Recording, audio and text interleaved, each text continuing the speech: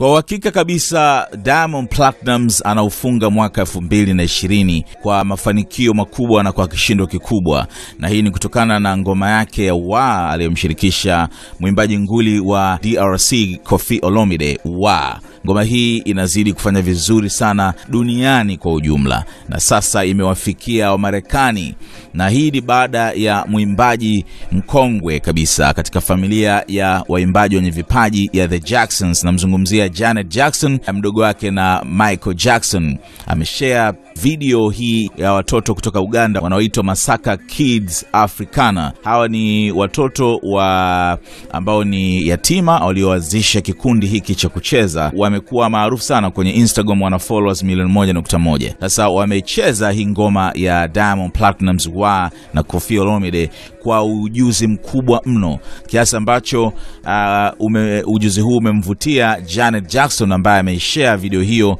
kwenye akaunti yake ya Instagram yenye followers zaidi ya milioni tano nukta tatu na akawa ameandika tu good vibes only na akawatag Masaka Kids Africana. So maana yake ni kwamba wimbo wa Diamond Platnumz wa umewafikia watu wengi sana sasa hivi kupitia page ya Janet Jackson, na comments ni nyingi sana zaidi ya elfu moja na video na views zaidi ya laki moja na thelathini na tano. Kwa hiyo imetazamwa sana, comments nyingi sana hapa.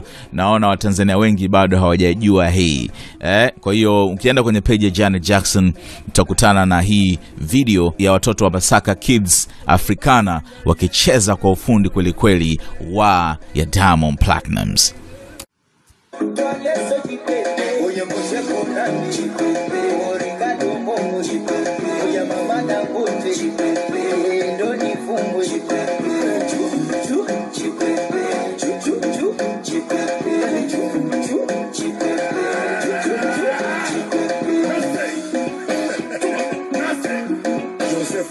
Nothing.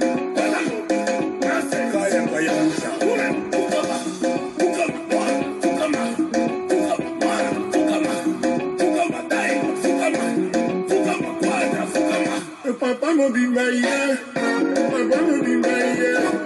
Papa mo be my yeah.